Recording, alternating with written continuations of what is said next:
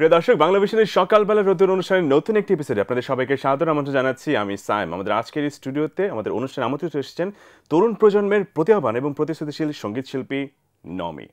Nomi welcome to the show আচ্ছা এই যে প্রতিভাবান এবং প্রতিশ্রুতিশীল এটা নিশ্চয়ই ছোটবেলা থেকেই শুনে আসছে যখন থেকে আমরা তো নর্মালি মানুষকে যখন থেকে চিনি তোমাকে একটু বেশ আগে থেকে চিনি কারণ অনেক ছোট থেকে তুমি ক্যামেরার সামনে মানুষের সামনে গান গাইতে শুরু করেছ। তো কেমন লাগে তখন? ওয়ার্ডিংটা কিন্তু অনেক আমার আমার জন্য বুঝতে একটু সমস্যা হয়। আচ্ছা। কারণ দুইটার কিন্তু ডিফারেন্স আছে। একদম হ্যাঁ। সো দুইটাকে যখন একত্রে বলা হয় জিনিসটা কিন্তু শুনতে অনেক বড় শোনায়। এবং বড় একটা যে কিন্তু বড় একটা অনেক দায়িত্ব কিন্তু অনেক হ্যাঁ। বড় একটা রেসপন্সিবিলিটি. আমার মনে হয় যে এই আমি জানি না যে ওয়ার্ডটা আমার জন্য অ্যাপ্রোপ্রিয়েট কিনা। বাট আই ট্রাই আচ্ছা আমার ভালোই লাগে। ভালোই লাগে। এখন কি নিয়ে ব্যস্ত নমি? পড়ালেখা নিয়ে বেশি নাকি গান নিয়ে? দুটো নিয়ে। আচ্ছা। দুইটা নিয়ে। পড়ালেখা তো অলমোস্ট শেষ। অ্যান্ড গান তো চলছেই চলবেই। গান তো এই- আমার প্যাশন প্যাশন তো এই যে অনেক চ্যানেলে অনেক জায়গায় বলতে শোনা যায় অভিযোগ বলব না অনুযোগ বলব বা আবদার বলব যে নমিকে পাওয়া যায় না। সবসময় পাওয়া যায় না। এই পাওয়া যায় নাটা কেন? যে নমি একটু খেয়ালের বসে কাজ করে গানটা গায় বা অনুষ্ঠানে আসে অথবা নমি পড়ালেখাকে বেশি টাইম দেয়? না এরকম কিন্তু কিছু না। আমার কাছে মনে হয় প্রত্যেকটা জিনিসের একটা ব্যালেন্স দরকার। হ্যাঁ। সো এই এই জিনিসটাকে ব্যালেন্স করা ইজ মানে যারা করছে তারা তো খুবই ভালো করছে। আমার কাছে মনে হয়েছে যে আমার একটা কাজ যখন মানে করছি আমি সেটাতে আমি ফুল কনসেন্ট্রেশন দেওয়ার চেষ্টা করি। আমি যখন গানটা করছি আমি চাই না যে আমাকে কোনো আশেপাশে থেকে কোনো ডিস্ট্রাকশন আসুক। আচ্ছা। আবার আমি যখন পড়ালেখা করছি বা কোনো একটা কাজ করছি আমার কাছে তখন মনে হয় যে ওই জায়গাটাতে ইম্পর্টেন্স দেওয়া উচিত। আচ্ছা। এইটার একটা ব্যালেন্স করতে হয় কিন্তু। আচ্ছা। না হ্যাঁ। মানে গানের ক্ষেত্রে খেয়ালি যারা তারাও কিন্তু গানের ক্ষেত্রে সিরিয়াস যখন কাজটা করে তখন মানে সিরিয়াসলি করে। কিন্তু. নমে কি গানটা প্রফেশনালি একদম হান্ড্রেড পার্সেন্ট যে না গানটা করি আমার থাকতে হবে এমন কিছু না। কিন্তু যখন গানটা করবে যখন স্টুডিওতে যাবে বা কোনো একটা স্টেজে উঠবে তখন হান্ড্রেড পার্সেন্ট এফোর্ট দিয়ে করবে। এমনটা কি? গানটা তো প্যাশনের জায়গা থেকে আমি করছি। হুম সো এই জায়গাটাতে প্রফেশনালিজমটা একটা ডিফারেন্ট জিনিস। এবং দুইটাকে যখন আমরা মার্চ করছি একসাথে হ্যাঁ। হ্যাঁ দুইটাকে একসাথে মার্চ করছি তখন দেখা যায় যে কিছু কাজ আমাকে বুঝে শুনে করতে হচ্ছে। ওই ক্ষেত্রে কোয়ান্টিটি ওয়াইজ যদি আপনি দেখেন তাহলে হয়তো বা আমার সেই ক্ষেত্রে বলা যায় যে আমি একটু কম কাজ করছি। আচ্ছা। বাট আমার কাছে মনে হয় না যে ওটা ম্যাটার করে খুব একটা. বেশি। এই যে নমির গানের ক্ষেত্রে ম্যাচুরিটি দর্শক অনেক আগে টের পেয়েছে। বেশ ছোট বয়স থেকে নমির গানের কণ্ঠে বেশ ম্যাচুরিটি আছে। কথারও অনেক বেশি ম্যাচুরিটি নমি কি ছোটবেলা থেকে একটু আচ্ছা। ম্যাচিওর কথা বলে নাকি ছোটবেলা একটু চাইল্ডিশ ছিল তারপর আস্তে আস্তে বয়সের ভারে এবং মিডিয়াতে কাজ করতে করতে মানুষ দেখতে দেখতে শিখতে শিখতে এক সময় গিয়ে ম্যাচিওর হয়েছে? কোনটা? আমার কাছে মনে হয় যে বোঝার একটা ব্যাপার আছে যে হ্যাঁ। আসলে আমি কোন কনটেক্সটে কথা বলছি আমার ব্যাকগ্রাউন্ডটা কি হবে। সো ওইভাবে ভেবে একটু কথাটা অ্যান্সার করা উচিত। আদারওয়াইজ সকালবেলা ঘুম থেকে উঠলাম আচ্ছা ঠিক আছে স্যাম ভাইয়ের সাথে আজকে ইন্টারভিউ দিতে হবে ঠিক আছে বলে দিব একটা। হ্যাঁ। জিনিসটা এরকম হয়। কিন্তু জিনিসটা তো আসলে এরকম না যে রিয়েলিটিতে যেটা হচ্ছে যে হাজার হাজার মানুষজন আমাদেরকে দেখছে। এবং আমি কি বলছি কীভাবে বলছি কোন কথাটা সত্য কোন কথাটা মিথ্যা পিপল আর নট ডাম না একেবারেই না। একদমই না। সো তারা তাদেরটা বুঝে নেবে So, ওই জিনিসটা চিন্তা করে আমি কথা বলার চেষ্টা করি। আচ্ছা তো আসলে এই এই যে এখন আমি নমির ছোটবেলা বলব না বড়বেলা বলব না এখন নমি মেছোবেলায় আছে আমি যদি বলি। তো ছোটবেলায় আসলে নমি কেমন ছিল? এরকম বেশ বুঝতার মেয়ে ছিল বেশ ম্যাচিওর মেয়ে ছিল নাকি? খুব নস্টালজিক হয়ে যাচ্ছি আমি। আচ্ছা এত বেশি ছোট ছোটবেলা- হতে হবে না মানে একটু বেশি একটু পিছনে গেলেই হবে। হ্যাঁ মানে সায়াম ভাইয়া কিন্তু এখানে আসার আগে থেকেই হ্যাঁ। ছোট ছোট ছোট ওয়ার্ডটা ইউজ করতেছে। আর আমাকে কেন বলছি? কারণ আমি ছোটবেলায় দেখেছি এবং ছোটবেলা থেকে দেখলে যেটা হয় বড় হয়ে যাওয়ার পর তাকে ছোটই লাগে একদম, কিন্তু হ্যাঁ। এরকমই হয়। So it's been ten years ten আরও আরও বেশি হ্যাঁ। আহ, এখানে আমি কাজ করছি এবং একদম শুরু থেকে যদি কয়েকটা মানুষকে দেখি তাহলে you are one of them so এর জন্য হয়তো পারে যে হ্যাঁ। যতই বড় হোক অত ছোটই। হ্যাঁ আচ্ছা আমার ছোটবেলাটা ওয়াজ অ্যামেজিং আচ্ছা, যে জিনিসটা আমি খুব মিস করি আমার মনে হয় যে আমার পরের জেনারেশনরা বা এরপরে যারা আসবে এই জায়গাটা খুব আমার কাছে মনে হয় যে আমার ছোটবেলাটা ছিল কীরকম? আব্বু আম্মু আমাকে স্কুলে নিয়ে যায় তো এরপরে যে সময়টা থাকতো ওই সময়টা আমি আইদার আমি গান রেয়াজ করছি হ্যাঁ ওস্তাদজির বাসায় যাচ্ছি বা কোনো একটা আর্ট কম্পিটিশন করছি কোনো একটা ডিবেট করছি বা আবৃত্তি করা শিখছি। আমার কাছে মনে হয় যে এই এক্সট্রা কারিকুলার যে জিনিসগুলো আছে আমাদের এখনকার যে যে বাচ্চাদেরকে দেখি হ্যাঁ ওদেরকে দেখে আমার ভীষণ স্যাড লাগে। যে আমার ছোটবেলাটা আসলে এত সুন্দর ছিল। এবং আরেকটা জিনিস হয় যেটা হচ্ছে যে পড়ালেখার পাশাপাশি আমরা যে টাইমটুকু পাই সপ্তাহে দুই তিন দিন বাবা মার টাইম দিই তো ওই টাইমটাতে এই যে ছবি আঁকা কবিতা আবৃত্তি গান এগুলো করা মানে কি? বাইরে অন্যদিকে মনোযোগটা কিন্তু কম যায়। একদম হ্যাঁ হ্যাঁ অন্যদিকে মনোযোগটা কম যায় এবং ঘুরে ফিরে এটা কিন্তু মানে পড়ালেখার মতো করে একটা অংশ জীবনের অংশ যেটা আমি এখন কাজ করছি প্রফেশনালি পারে। হ্যাঁ তুমি গান করছ সো এটা কিন্তু আলটিমেটলি আমাদেরকে একটা ভালো দিকেই নিয়ে গেছে। তো এইটা কিন্তু এখনকার সময় একটু মিসিং আমার আমারও তাই মনে হচ্ছে একদম আমি একমত। আমার কাছে যেটা স্যাম ভাই মনে হচ্ছে যে আমাদের সময়টা না যে কয়েকটা টিভি চ্যানেল ছিল আমরা দেখতাম যে এই কম্পিটিশন কখন হচ্ছে ওই কম্পিটিশন কখন হচ্ছে হ্যাঁ এখানে অডিশন দিতে যাব। এই যে সারা বছর ধরে এগুলোর জন্য একটা প্র্যাকটিস একটা প্রিপারেশন হ্যাঁ। থাকতো। এটা কিন্তু আমাদেরকে অনেক তৈরি করে দিয়েছে আমার মনে হয়। আর এখন কখন আসে কখন যায় আমরা নিজেরাও জানি। মানে রিয়েল লাইফের মানে দৌড়াদৌড়িতে আমরা রিয়েলিটি শোর কথা ভুলে যাই দ্যাটস রিয়েলি স্যাড এক্স্যাক্টলি তার মানে ফ্যামিলির ইচ্ছে ছিল যে মেয়ে কালচার সাইডে যোগাযোগ থাকুক। হান্ড্রেড পার্সেন্ট হান্ড্রেড পার্সেন্ট বাহ that- মানে সেই দিক থেকে কিন্তু মানে নর্মালি অন্য যে কোনো মেয়ের থেকে আমি মেয়েদের কথা বেশি এমফাসিসে বলছি কারণ মেয়েদের ক্ষেত্রে এই প্রবলেমগুলো বেশি হয়। কালচারাল সাইড একটু হতে গেলে না পড়ালেখার বাইরে এসব কি করছ? হ্যাঁ অফ ট্র্যাকে একটা ব্যাপার। সো সেক্ষেত্রে তুমি hundred percent one hundred percent support বাহ পেয়েছি। কি কি মানে বাবা মা কি কি পছন্দ করতেন মেয়ের? বাবা মা তো অলওয়েজ চেত যে পড়ালেখাটা সবার আগে ফার্স্ট প্রায়োরিটি থাকুক। তারপরে তুমি গানটা করো। যেহেতু মানে আমি তো অনেক কিছু করতাম ছোটবেলায় আহ, আবৃত্তি থেকে শুরু করে নতুন করতে তখন যত ধরনের নাচটা ছাড়া বাকি সব আমি করছি নাচ আমাকে দিয়ে জীবনও হবে না। বাহ কখনোই হবে না। হ্যাঁ। সো এগুলো ছাড়া বাবা মা সবসময় চাইতো যে আস্তে আস্তে যখন দেখতো যে এই ডিবেটে ভালো করছি বা গানে একটু ভালো করে ফেলেছি অনেকগুলো জাতীয় পুরস্কার পেয়ে গেলাম। আচ্ছা ঠিক আছে তুমি গানটা পারসিউ করো। এটা কন্টিনিউ করো ভালোভাবে শিখো। তো ওটার জন্য আসলে আমাকে শেখানো হলো আমার ছোটবেলায় ঘুম থেকে উঠতে খুব দেরি হতো। বাবা খুব রেগে যেত। বাবা তখন সকালবেলা হাঁটতে যেত। আমাকে ঘুম থেকে উঠাতো যে তুমি আজকে রেয়াজ করবা না। তো যখন দেখতাম না না করব না। এমনও আছে আমার মায়েরও খেয়েছি আচ্ছা। আচ্ছা তো তার মানে কি এটা যে পুরস্কারটা অনেক বেশি আমাদেরকে বুঝিয়ে দেয় যে কার কোন দিকে যাওয়া উচিত এটা কি? নাকি তোমার ভালো লাগাটাই গানের প্রতি বেশি ছিল অন্যান্য যেহেতু তুমি মানে শুধু গান না কবিতা আবৃত্তি ছবি আঁকা ডিবেট অনেক কিছু করতে সেই জন্য বলছি যে এটা কি তোমার বাবা মার বা তোমার যে পুরস্কার যেহেতু গানে বেশি পাচ্ছে তাই গানের দিকে যাওয়া নাকি আসলে গানের প্রতি ভালো লাগাটাই বেশি ছিল অন্যগুলো ভালো লাগাটা কিন্তু না থাকলে যাওয়া হতো না। ডেফিনেটলি বাট অন্যগুলো তোমার নাকি বেশি ছিল এটাতেই? না সবগুলো সবগুলো আয়ুষে সবগুলো সমান করেছে। আমার মা বাংলাদেশ টেলিভিশনে গান করতেন। বা আচ্ছা। তো আম্মুর কাছ থেকে আমার তখন আম্মু তো জবের জন্য তখন ঢাকা থেকে মুভ করতে হলো। তো সে আর কন্টিনিউ করতে পারেনি সো সে চিন্তা করল যে আচ্ছা ঠিক আছে আমার মেয়ে যেহেতু গান করছে সো ওয়াই নট আচ্ছা। তখন আম্মুই আমাকে আম্মুর কাছে আমার শেখার শুরুটা হলো আস্তে আস্তে। তারপর ওস্তাজির কাছে গেলাম। আচ্ছা। এরকম করে তো হয়েছে। এই যে গানের প্রতি যে একটা সদিচ্ছা থেকে গানে আসে তো পড়ালেখার প্রতি কি এরকম সদিচ্ছা থেকেই পড়ালেখা করে নাকি ফ্যামিলির একটা প্রেশার এখানে একটা ব্যাপার বুঝতে হবে হ্যাঁ। যে আমাকে কিন্তু ওই যে তুমি যেটা বলছিলে যে পড়ালেখা থেকে একটু মানে বাকি সময়টাতে বিজি রাখা হ্যাঁ। এটার জন্য হচ্ছে এত কিছু করানো হয়েছে ব্যাপারটা কিন্তু এরকমই যে নিজের থেকে জিনিসটা আসে নাই তারপর আমি প্রেমে পড়ে গিয়েছি।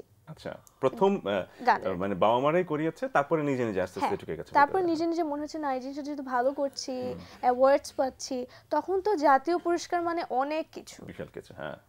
তখন আমাদের সময়। অবশ্যই।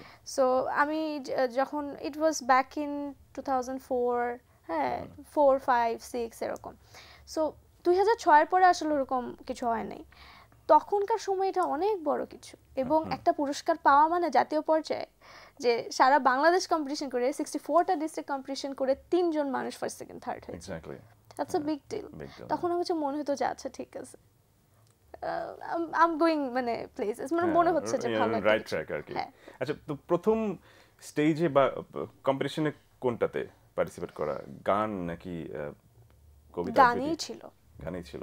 তখন মানে গান কোন ধরনের গানের প্রতি ইন্টারেস্ট বেশি ছিল? আমার যেহেতু আমি ক্লাসিক্যাল করতাম সো তখন উচ্চাঙ্গ সংগীত দিয়ে হচ্ছে আমার শুরু হয়েছে। আচ্ছা ওকে তারপরে এখন প্র্যাকটিস করা হয়? হ্যাঁ এখন প্র্যাকটিস করা হয় মানে ছোটবেলায় একটা রুটিন ছিল যে প্রত্যেক ফ্রাইডেতে ওস্তাজি বাসায় যেতে হবে বা আমরা কিছু কোর্স করতাম। সেই কোর্সগুলা করতে হতো সেটার জন্য যে পড়ালেখা করতে হতো কিন্তু। গানের জন্য কিন্তু আলাদা পড়ালেখা আছে আমাদের। সো ওটা করতাম ছোটবেলায়। তো এই কোর্সেসগুলো করতে করতে ওস্তাজির কাছে যেতাম এরকম একটা প্র্যাকটিস ছিল আচ্ছা। আমাদের। তো মানে বড়বেলার গান তো শুনবোই মেজবেলার গান শুনব বাট ছোটবেলার কোন একটা গান যেটা তোমার খুব প্রিয় ছিল আমার একটা গান শুনতে চাই। আকাশে কার বুকের মাঝে ব্যথা বাজে দিগন্তে কার কালো আখি, আখির জলে যায় ভাসি, ভালোবাসি ভালোবাসি ভালোবাসি। কণ্ঠটা একটু অন্যরকম চেঞ্জ হয়ে গেল, একটু আগে মানে আধুনিক গানের সাথে কণ্ঠ এটি তো হতে হয় আসলে যে কোনো ভার্সেটাইল হতে হয় আর কি। তো কিন্তু এই যে রবীন্দ্রসঙ্গীত গাইলে উচ্চাঙ্গ সঙ্গীতের শুরু তো থাকে না যে এখন তো মোটামুটি আধুনিক গান করা হয় বলা যায়। তো তখনকার সময় পছন্দ কোনটা ছিল? বা বাবা মা থাকে না যে সব ধরনের গানের মধ্যে একটা স্পেসিফিক করতো বাবা মা যে কেউ নজরুল সংগীত আহ, শেখাতো কেউ রবীন্দ্রসঙ্গীতের জন্য? আমার জন্য রবীন্দ্রসঙ্গীত রবীন্দ্রসঙ্গীত মানে ফ্যামিলি থেকে সেটা? হ্যাঁ।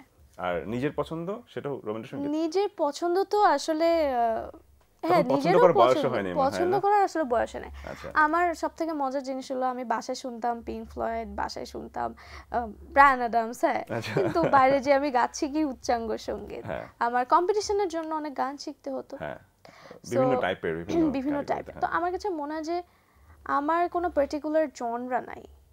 সিঙ্গারদের কিন্তু থাকা মানে মানে গান গাওয়ার জনরা থাকা হ্যাঁ। যদি থাকেও শোনার কিন্তু জনরা থাকা উচিত না। একটা সিঙ্গার কিন্তু সব ধরনের গানই কিন্তু শোনা উচিত। হ্যাঁ শোনা উচিত। যেমন আমার যদি এখন একটা ব্যান্ড থাকতো definitely I would follow a genre হ্যাঁ সেটা ব্লুজ হোক জ্যাজ হোক যাই হোক। আমার একটা পপ হোক একটা জনরা ফলো করতে হতো।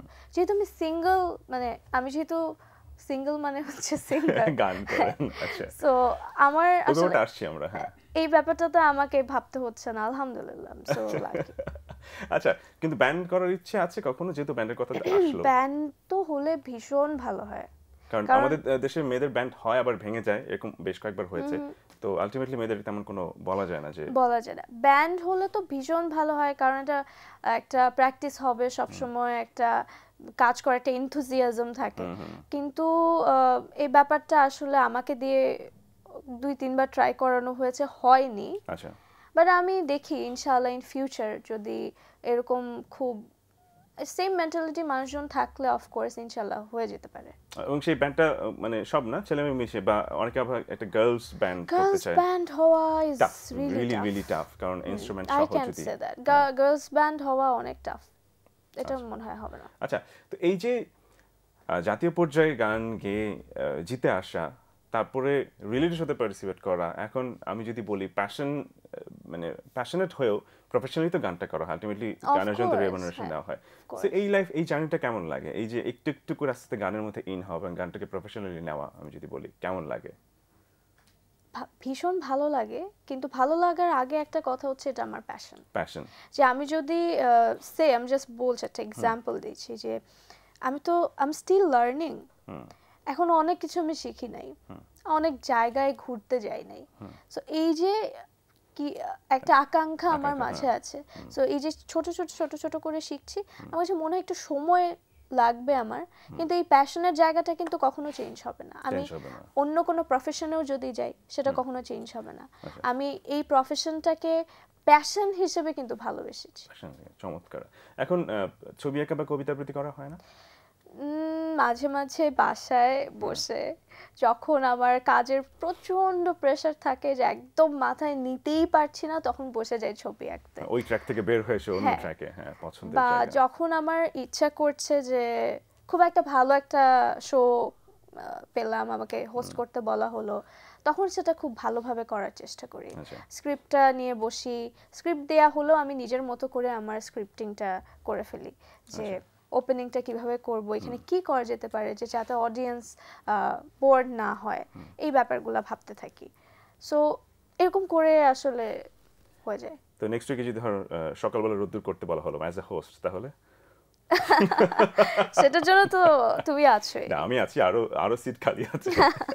আচ্ছা এই হ্যাঁ মানে যেই জায়গাটাই আমি হ্যাঁ, করি না কেন যেহেতু 100% বেসিকটা আমার আছে আমি চেষ্টা করি যে হান্ড্রেড পার্সেন্ট এফোর্টটা দিতে। এফোর্টটা দিতে। তো এই যে গানের জগতে এসে উপস্থাপনাটা কি? নিজে প্যাশন থেকেই নাকি জোরপূর্বক মানুষের রিকোয়েস্ট উপস্থাপনাটা আমার তো আমার যেহেতু আমি ডিবেট করতাম আমি হ্যাঁ। আবৃত্তি করতাম আমি বাংলাদেশ টেলিভিশনে অনেক ডিবেট করেছি আবৃত্তি উপস্থাপনার বেসিক কিন্তু এগুলা কিছু কিছু জিনিস কাজে লাগে।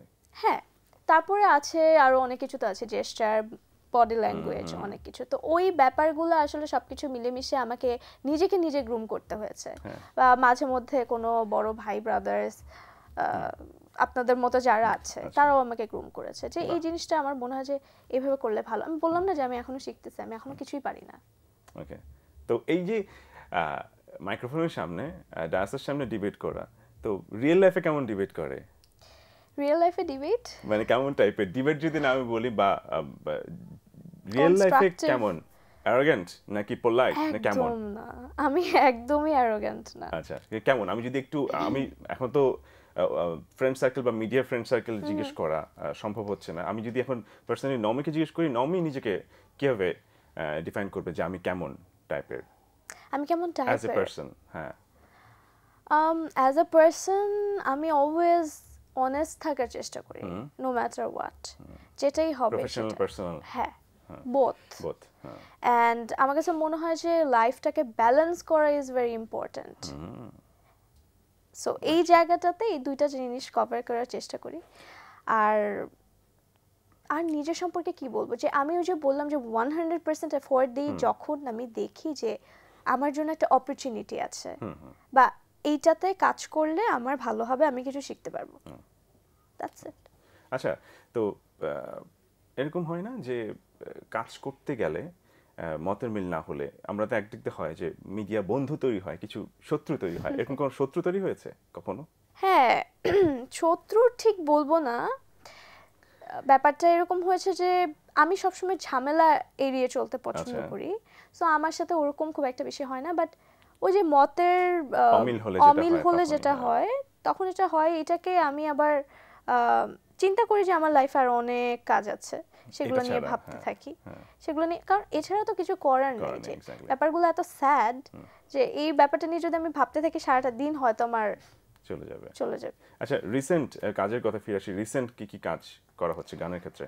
রিসেন্ট আমার আসলে একটা সিঙ্গেল নিজে বানাচ্ছি। আর একটা হলো দুইটা সিঙ্গেল ইনফ্যাক্ট তো দুইটা সিঙ্গেলের কাজ চলছে এগুলোর মিউজিক ভিডিও করার প্ল্যান আছে আমার। আর একটা গানের তিনবার টিউন চেঞ্জ করলাম। আচ্ছা কে মানে করেছে কে টিউন টিউন আমি করেছি। হ্যাঁ। সো তিনবার ওটার কাজ চলছে এখন।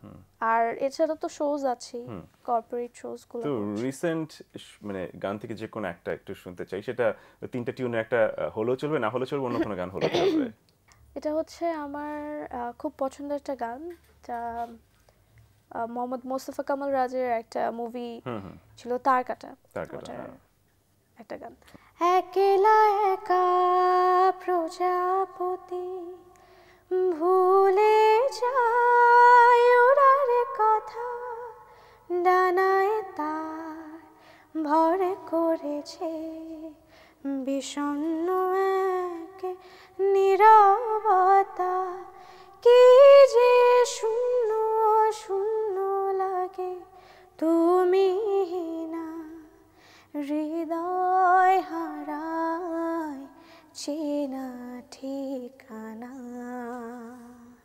চমৎকার। আমি যদি একটু কনফেস করি যে আমি প্রথম মানে তোমার গান আমি লাইভ মানে এইভাবে শুনলাম। চমৎকার অদ্ভুত সুন্দর একটা ভয়েস তোমার মাশাআল্লাহ। আমরা আরেকটা শো করেছিলাম। আচ্ছা শো করেছিলাম। তখন কি গান শোনা হয়েছিল খুব একটা? হ্যাঁ। আচ্ছা কিন্তু তার কিন্তু অনেক চেঞ্জড অনেক ম্যাচিওর ভয়েস মাশাআল্লাহ চমৎকার। আমরা গান কিন্তু আরও শুনব এবং কথা আরও বলব। সেটা প্রফেশনাল পার্সোনাল সবই হবে একটা ছোট ব্রেকের পরে। দর্শক অনুষ্ঠানে এই পর্যায়ে নিচ্ছি খুবই ছোট্ট একটা বিরতি আমি ফিরছি খানিক্ষণ বাদেই। সে পর্যন্ত চোখ রাখুন বাংলা মিশনের পর্দায়।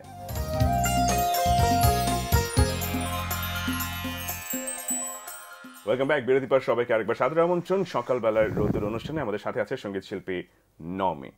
নমি এবার একটু আমরা রিয়েলিটি শোতে একটু যেতে চাই কারণ যেখান থেকে আমরা মানে বেসিক আমি বলব যেখান থেকে আমরা নমিকে আসলে চিনি কারণ ছোটবেলায় তো জাতীয় পর্যায়ে অনেক প্রোগ্রাম করে তারপরে রিয়েলিটি শোতে এই রিয়েলিটি শোতে সেটাও কি মানে কারও মানে ইচ্ছাতে নাকি নিজের ইচ্ছা ছিল? একদম আমার মা। মা? হুম। মা কি চাইলেন যে মেয়ে এবার আরেকটু বড় পর্যায়ে যাক আরেকটু মেয়ে ব্যস্ত থাকুক। মেয়ে ব্যস্ত থাকলে তাকে আশেপাশের যেই চারপাশে যে সারাউন্ডিংস আছে হ্যাঁ। হ্যাঁ এগুলা থেকে একটু ডিস্ট্রাক্টেড থাকবে। আচ্ছা এই জন্যই হ্যাঁ হ্যাঁ আমি আমার মনে আছে যে সকালবেলা উঠে মিট দিত মিট তো না তখন টেস্ট হতো আমাদের। হ্যাঁ হ্যাঁ। টেস্ট দিতাম টেস্ট দেওয়ার পরে মা দাঁড়িয়ে আছে পাশে। তো তুমি আমার দেখা যাচ্ছে এক ঘণ্টা সময় আমার ফোর্টি ফাইভ মিনিটসে শেষ করে আমার বের হয়ে যেতে হয়েছে। কেন? কারণ আমার রেকর্ডিং আছে আচ্ছা। বা আমার একটা অডিশন আছে। সো ওইভাবেই রিয়েলিটি শোটাও আব্বু আম্মুর জন্যই করা হয়েছে। কিন্তু কোন এক্সপেকটেশন নিয়ে যাওয়া হয়েছিল যে না এটাকে বেশ ভালো কিছু হবে অনেক সামনের দিকে যেতে হবে না I have always been confident যে কাজটা করেছি আমি ওটা মন দিয়ে করেছি। আচ্ছা। আর যেটা আমার ইচ্ছা হয় না সেটা আমি করিই নাই। Very good very good I like it আচ্ছা তো তারপরে সেখানে গিয়ে আমি যদি বলি যে একটা রিয়েলিটি শো মানে হচ্ছে লাইফের একটা বড় এক্সপিরিয়েন্স একটা ভান্ডার কিন্তু জমা হয়ে যায় সেটা। পুরো লাইফের একটা স্টোরি আমি বলব যে একটা। এবং সেটা পজিটিভ. নেগেটিভ সবকিছু মিক্স একটা টক ঝাল মিষ্টি একটা ইয়ে থাকে। আমি যদি বলি যে তোমার এক্সপিরিয়েন্স মানে ওভারঅল সামারি বলি কেমন ছিল সেটা? সবার তো একটা গোল থাকে, প্রত্যেকের হ্যাঁ। যে কেউ হয়তো বা চ্যাম্পিয়ন হতে চাচ্ছে সেই মাইন্ডসেট নিয়ে যায়। কেউ হয়তো বা চায় যে আচ্ছা ঠিক আছে আমি যাই টপ টেনে থাকলেই হবে বা টপ ফোরটিতে থাকলেই হবে। আমার এই জিনিসগুলো আসলে বুঝতামই না যেহেতু আমার বয়স অনেক কম ছিল।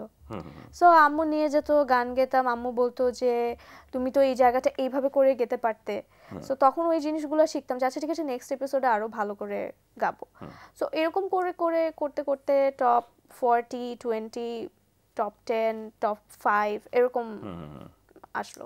সো অনেক কিছু শিখেছি। আমাদের আম, শ্রদ্ধেয় সুবীর নন্দী স্যার ছিলেন আমাদের আমাদেরকে গ্রুমিং করতেন। সো ওই grooming সেশনটা was very very important for us হ্যাঁ, হ্যাঁ খুবই ইফেক্টিভ ছিল। কারণ তখন তো আসলে প্রফেশনালি যে মিউজিকটা নিব আমি ওরকম কিন্তু চিন্তা ভাবনা মাথায় আসে নাই। হ্যাঁ, প্রত্যেকটা দিন একটা লার্নিং এর মতো ছিল হ্যাঁ। শেখার মতো ছিল সকালবেলা আমরা উঠতাম উঠে রেয়াজ করেছি শিখেছি প্রত্যেকটা নোটস স্টাফ নোটস কীভাবে ইউজ করতে হয়। সো প্রত্যেকটা জিনিস আসলে আমাদেরকে একদম হাতে ধরে ধরে শেখানো হয়েছে। তো অনেকগুলো সেশন থাকে অনেকগুলো তো স্টেজ থাকে অনেকগুলো পর্যায় থাকে। তো এবং কোনো শীতের দর্শক মানে পছন্দ করে দর্শক বা বলব বা সম্মানিত বিচারকরা বলব হ্যাঁ পছন্দ করে। সবচেয়ে কোন গানটা বেশি সবাই মিলে পছন্দ করেছে তোর মনে আছে যদুর? আমি একটা নজরুল সংগীত গেয়েছিলাম. মোর ঘুমো ঘরে। ওই গানটা ওয়াজ ভেরি অ্যাপ্রিসিয়েটেড সবার থেকে। আচ্ছা এখন কি গাওয়া হয় গানটা? গাওয়া তো হয়। সকালবেলা শুনব আমরা? শ্রাবণ মেঘে নাচে নটবর। শ্রাবণ মেঘে নাচে নাচে নাচে।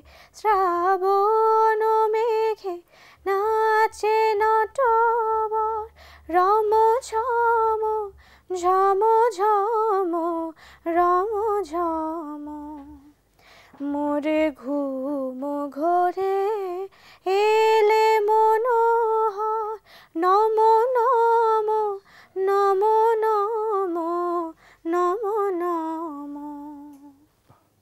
চমৎকার থ্যাংক ইউ আমার পছন্দের একটা গান শোনানোর জন্য। তো এই যে এখানে আলটিমেটলি যে রেজাল্টটা হলো সেটা কি এক্সপেক্টেড ছিল নাকি এর চেয়েও ভালো বা এর চেয়েও কম ভালো? কোনটা আশা করেছিল বা ফ্যামিলিকে আশা করেছিল? সত্যি করে বললে যেহেতু তুমি অনেক অনেস্ট কথাবার্তা না রেজাল্ট তো এক্সপেক্টেড ছিল না। যে এখন রিয়েলিটি শোগুলো হচ্ছে বাট ওই মানে আমরা নিজেরাই জানি না মানে আগে সামনে দিয়ে যেতে আমি পেছন দিয়ে চলে যায় বুঝিও না হ্যাঁ, একদম। মানে একদম পারফেক্ট মানে বুঝি না যে কখন হচ্ছে কখন কি হলো বা এর মাঝখানেও কিন্তু অনেকে ভালো অনেক সুন্দর গান করে। পরে যখন গান গাইতে গিয়ে আমরা চিনি আচ্ছা একটা রিলেটেড শোতে ছিল। তখন হয়তো জিজ্ঞেস করলাম যে আচ্ছা তুমি কি কোনো রিয়েলিটি শোতে ছিলে? হ্যাঁ আপু ছিলাম তো। কোন রিয়েলিটি শো এটাতে ছিলাম। তখন মনে হয় যে মিস করে ফেললাম কীভাবে যে ছেলেটা এত ভালো গায়। হ্যাঁ। আচ্ছা যাই হোক আমাদের টপিকে আসি। যে রেজাল্ট তো এক্সপেক্টেড রেজাল্ট আমরা পাইনি। সো তখন আমার বাবা যেটা করে যে আমাদের যেহেতু আমরা তখন ছোট ছিলাম তো একটা ক্যাম্পে থাকতে হতো আমাদেরকে। সো তখন বাবা আমাকে বলল যে টপ সেভেনে যখন আমি ছিলাম top five I I forgot so তখন বাবা আমাকে ক্যাম্প থেকে নিয়ে আসছে। আচ্ছা ওকে যেহেতু রেজাল্টটা আমাদের ফেভার ছিল না। অ্যান্ড. আনএক্সপেক্টেড একটা রেজাল্ট হয়েছে খুব। সো তখন হচ্ছে আব্বু ওয়াজ লাইক যে আচ্ছা ঠিক আছে you better focus on your studies studies আচ্ছা তো তাহলে অন্য যে কারও তুলনায় সবার তো একটা মানে চেঞ্জেস আসে একটা রিয়েল শো থেকে বের হলে মোরাললেস কম বেশি। তোমার কি খুব একটা চেঞ্জ এসেছিল? আমার রিয়েলিটি শো থেকে বের হওয়ার সাথে সাথে আমি তখন আমার প্রচুর কাজের অফার আসতে শুরু করে এবং তখন হচ্ছে ইব্রা টিপু ভাই ওনার সোলো অ্যালবামের জন্য আমাকে আমার আমাকে গান করতে বলে আমার আম্মুকে ফোন দিয়ে। তারপরে আমি গাংচিল মিউজিক থেকে কল পাই। তখন আমি অনেক ছোট এগুলো একদমই কিছু বুঝি না। সো বের হওয়ার সাথে সাথে আমি বিজি হয়ে গেছি। আচ্ছা। প্লেব্যাক করছি আমি তখন তখন তো সিডিজ মানে তখন আমার একটা অ্যালবাম থাকা মানে অনেক কিছু। সাথে হ্যাঁ। সাথে আমি আমার অ্যালবাম করে ফেলেছি। সো আই ডোন্ট রিগ্রেট মানে ঠিক মিউজিক ভিডিওর আগে আগে সময়টাতে আর কি একদম। ও আরেকটা জিনিস হলো কি তখন না এখন যেমন কত সুন্দর সুন্দর মিউজিক ভিডিওস হচ্ছে। হাই বাজেটের মিউজিক ভিডিও হচ্ছে তখন হাতে গুনে কয়েকটা আর্টিস্টের মিউজিক ভিডিও রিলিজ করা শুরু করে। তার মধ্যে কন আপু একজন তারপর আহ, বর্ষা গানটা টিপু দিয়ে, হ্যাঁ। হ্যাঁ বর্ষা গানটা দিয়ে। তারপর ইব্রা টিপু ভাইয়ের একটা গান আছে চাই তোমায় তোমায় ভেবে হ্যাঁ, হ্যাঁ। সো এই গানগুলোর মিউজিক ভিডিও হচ্ছে। আই ওয়াজ ভেরি লাকি যে একদম ওই টাইমটাতে আমি আমার মিউজিক ভিডিওটা করতে পেরেছি। আচ্ছা আর ফার্স্ট অ্যালবামের কথা একটু শুনতে চাই যে কেমন ছিল কে কে কাজ করেছিল? ফার্স্ট অ্যালবাম তো মানে জীবনের প্রথম অ্যালবাম এবং এটাই আমার কাছে মনে হয় যে এটা আমার একটা আইডেন্টিটি হ্যাঁ। যেটা দিয়ে মানুষ আমাকে চিনবে। বাট ব্যাপারটা যেটা হয়েছে যে আসলে কমার্শিয়ালি আমরা যখন কাজ করতে চাই নিজের পছন্দের জায়গাটাকে স্যাক্রিফাইস করতে হয়। করতে হয়। তখন আমার চিন্তা করতে হয়েছে যে আমার আসলে প্রডিউসার কীভাবে চাচ্ছে আমার অ্যালবামটা সো একটু বাণিজ্যিক একটা অ্যালবাম করা হয়েছিল প্রথম অ্যালবাম তারপর থাকে না এর মধ্যে থেকে নিজের কোন একটা গান বেশি পছন্দের থাকে এর মধ্যে থেকে? হ্যাঁ তা তো আছে বিভিন্ন ধরনের গান দশটা গানের একটা অ্যালবাম করা। অবশ্যই হ্যাঁ। এখন তো সিঙ্গেল অ্যালবাম আমরা সিঙ্গেল অ্যালবামও না। মানে গান আমরা মিউজিক সিঙ্গেল মিউজিক ভিডিও আমরা রিলিজ করছি। সো তখন দশটা গান মানে অনেক। ওখান থেকে একটা গান তো শুনতে চাই। আচ্ছা আমি সেকেন্ড অ্যালবামের একটা গান আচ্ছা এইটা হচ্ছে আমার লাস্ট অ্যালবাম একদম eleventh hour so eleventh hour ছিল অ্যালবামটার নাম ওখান আচ্ছা। থেকে একটা গান। অ্যালবামের ইলেভেন্থ আওয়ারের মতোই ছিল কিন্তু তখন? হ্যাঁ অ্যালবাম তখন একদম শেষ শেষ দিকে, শেষের হ্যাঁ। দিকে। তখন মানুষজন অলরেডি পাইরেসির অবস্থা এত মানে পাইরেসি করে এত বাজে অবস্থা হয়ে গেছে যে মানুষজন ইউটিউবে গান পাচ্ছে এখানে সেখানে গান পাচ্ছে। মানে কারও সিডি কেনার দরকারই নাই। হ্যাঁ। তখন ওই টাইমে একটা অ্যালবাম ছিল আমার। ইপি ছিল। হুম, হুম। কেন সব ধূসর লাগে? কেন মন ঢাকে মেঘে? আড়াল করে রাখে যে তাকে। পাবো কোথায় খুঁজছি যাকে। এত কিছু তবু মনে হয় কিছু নেই চারপাশে। এত কিছু বুঝেও কেন সে নেই অবশেষে।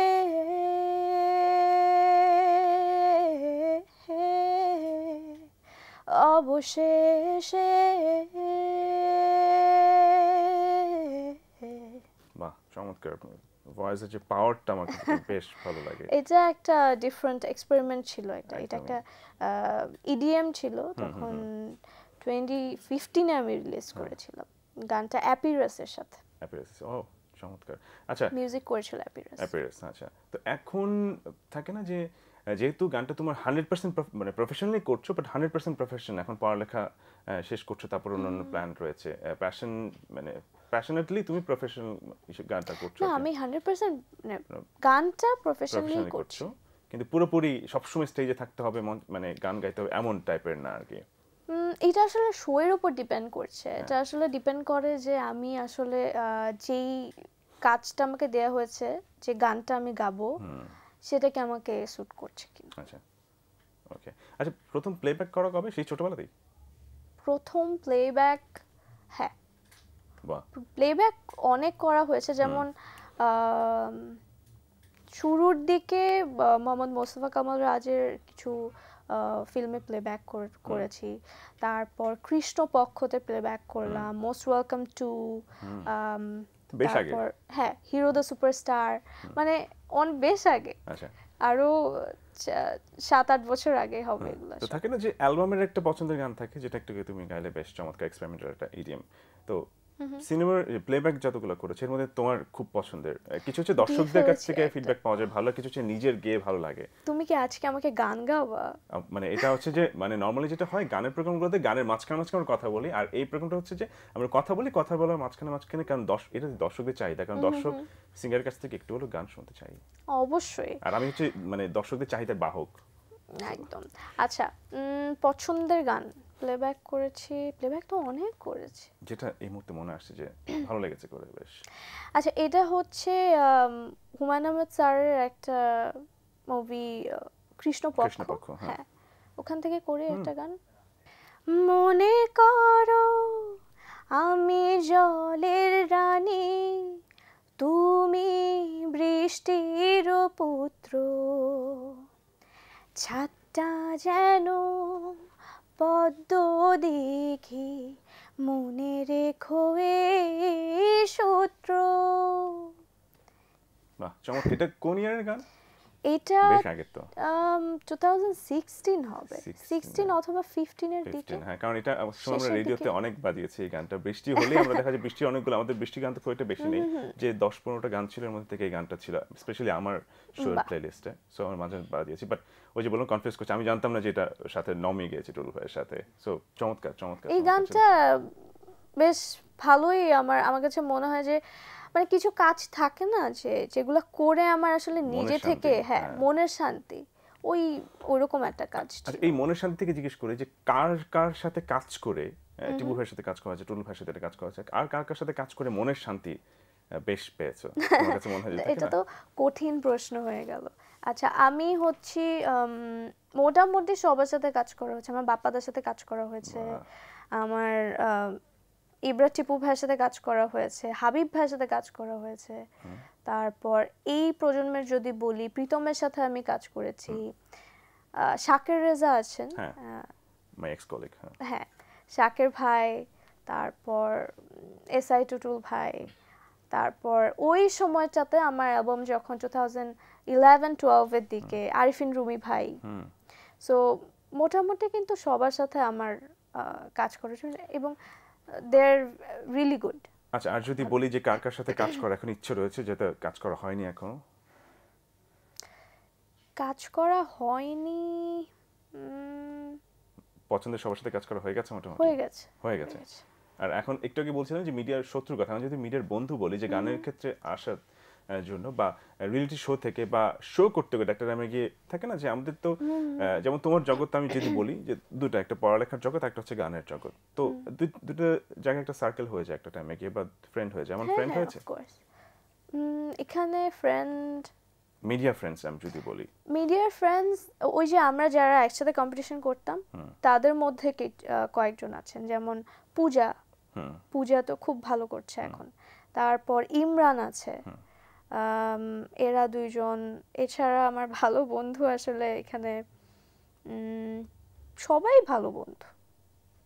ভেরি স্মার্ট আনসার মানে আমার যাদের সাথে কাজ করার সুযোগ হয়েছে তারা সবাই খুব ভালো মানে আচ্ছা এই যে মানে প্রফেশনাল পার্সোনাল দুটো তো আমরা একসাথে তুমি বললে একসাথে মার্চ করে নেওয়াটাই তো হচ্ছে লাইফ তো এক্ষেত্রে কি মনে হয় তুমি কতটুকু সাকসেসফুল এবং ধরো আজকে তোমার মন খারাপ বা তোমার মেজাজ খারাপ আমি জানি না তোমার মেজাজ কখনো খারাপ কখন থাকে কিনা আমি সবসময় তোমার কুলই দেখি। তো সেটা কতটুকু এফেক্ট ফেলে তোমার কাজের ক্ষেত্রে নাকি এফেক্ট ফেলে না একদম? বা কীভাবে মেজাজ খারাপ করলে? মেজাজ মন খারাপ এনে মেজাজ খারাপ ইউজুয়ালি আমার হয় না। আচ্ছা। কারণ আমার কাছে ওই যে যেটা বলছিলাম যে আমাদের অফেয়ারের কথা হচ্ছে Affair, হ্যাঁ। হ্যাঁ। ইমোশনস তো সবার মধ্যেই থাকবে। আমার সাথে একটা ইনজাস্টিস হলো। আমি বুঝলাম যে আমার সাথে একটা ইনজাস্টিস হয়েছে। সেটা তো আমি কেঁদে বা একটা বিশৃঙ্খলা করে সেই সিচুয়েশনটা থেকে ভালো আউটকাম পাবো না। সো সেটার জন্য আমাকে আমি যেটা ট্রাই করি যে খুব কাম থেকে আমার জায়গাটা থেকে আমি চিন্তা করি যে আমার কি কি কাজ আছে। কোন কাজগুলো আমার ইম্পর্ট্যান্ট এই নেক্সট ইম্পর্ট্যান্ট কাজ কোনটা? সো সেটার দিকে দেখি একটা জোরে একটা নিঃশ্বাস নিই যে এই কাজটা করার পরে I'll think of this think about this পরে। আচ্ছা। সো তখন আস্তে আস্তে জিনিসটা একটা আমার মনে হয় যে আমাদের মাথা যখন ঠিক না থাকে তখন কিন্তু আমরা ভালোভাবে ডিসিশন নিতে পারব না। সো আমি অলওয়েজ অলওয়েজ চেষ্টা করি ইনস্ট্যান্ট ডিসিশনটা না নিতে। বা ভেরি রেয়ার হ্যাঁ। এই সময়ের। আমি একদম যখন ঠান্ডা থাকব একদম মাথায় কোনো চিন্তা থাকবে না অথবা বাসায় একা থাকব আমি অবশ্যই ব্যাপারটা নিয়ে ভাববো যে কেন আমার সাথে ইনজাস্টিসটা হলো এবং আমি এটাকে কীভাবে সলভ করতে পারি। আচ্ছা এখন যদি বলি দুটো ব্যাপার। ঠিক তার মানে উল্টো পিঠ আর কি কয়েনের এপিটোপিট যে লাইফের সবচেয়ে বড় পাওয়া কি? লাইফের সবচেয়ে ছোট যদি কোনো আফসোস থেকে থাকে বড় কোনো আফসোস থেকে থাকে কোনটা? পাওয়া এবং না পাওয়া দুটোই। সব থেকে বড় পাওয়া তো আমার বাবা মা হুম। যাদেরকে পেয়েছি। এক্সপেক্টেড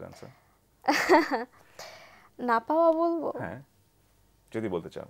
আমি ম্যাথসে খুব খারাপ। ভেরি আনএক্সপেক্টেড আমি যদি ম্যাথস একটু ভালো হতাম আমার লাইফের প্রবলেমগুলো হাফ মানে সেটা কি পরীক্ষার। ম্যাথ নাকি লাইফের ম্যাথ পরীক্ষার ম্যাথ আচ্ছা একদম শেষ পর্যায়ে আমরা লাইফ নিয়ে থাকে না অনেকের গোল থাকে কেউ রিয়েলিটি শোর গোল থাকে রিয়েলিটি শো শেষ করে এখন রিয়েল লাইফ অনেক বছর কেটে গেছে। রিয়েল লাইফের সামনের গোল কি? পড়ালেখা মানে পার্সোনাল লাইফ প্রফেশনাল সবকিছু মিক্স করে কি গোল আজ থেকে কি পাঁচ বছর পরের কথা ইচ্ছে পাঁচ বছর পঁচিশ বছর তুমি যেটা চিন্তা করো বা এক বছর আচ্ছা আসলে আমরা তো জানি না যে আমাদের কতদিন বাঁচবো? হ্যাঁ কতদিন আমরা বাঁচবো বাট আমি যতদিন বেঁচে থাকতে চাই আমি চেষ্টা করতে চাই যে আমার যেহেতু একটা আকাঙ্ক্ষা আছে শিখার একটা ইচ্ছা আছে আমি প্রতিদিন কনস্ট্যান্টলি কোনো না কোনো নতুন একটা জিনিস শিখতে চাই। এটা হচ্ছে আমার এক নাম্বার গোল আচ্ছা।